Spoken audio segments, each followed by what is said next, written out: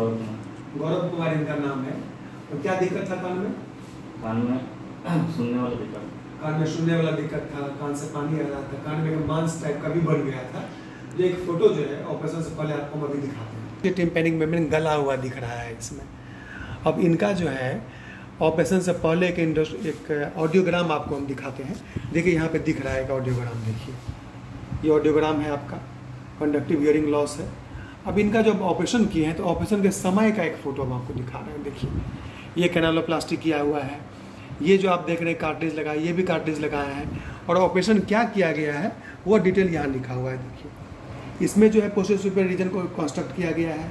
इनका सिर्फ़ स्टेपीज का फ़ूड प्लेट बचा हुआ था। पूरा इनका स्मेलियस सब कुछ भी नहीं था। हमने इसमें एक ऑगोमेंटेशन किया है। टैगल कार्टलेज यूज़ किया था। टैगल कार्टलेज के साथ जो है फ़ूड प्लेट में डाल के ऑगोमेंट किया है। और हियरिंग आउटकम जो टेबल पे ही कंफर्म किया गया था।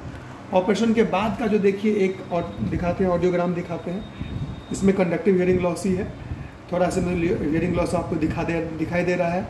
अब एक ऑपरेशन के बाद का एक फ़ोटो जो है, अभी दिखाते हैं। ये देखिए, ये ऑपरेशन के बाद का एक फ़ोटो है।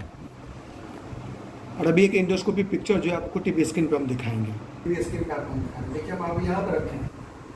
यहाँ से देखिए, हमको दिख रहा है, भीतर का स्ट्रक्चर अब एकदम हम भीतर धीरे धीरे जा रहे हैं, देखिए।